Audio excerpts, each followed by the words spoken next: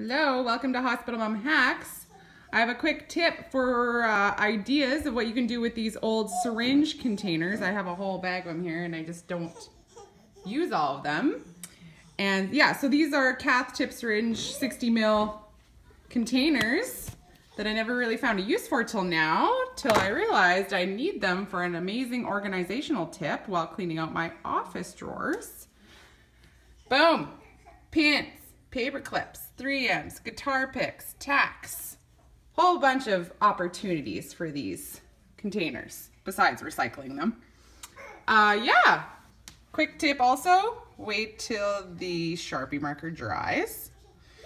Anyways, that's my tip of the day for uh, these uh, 60 mil cath tip syringe containers.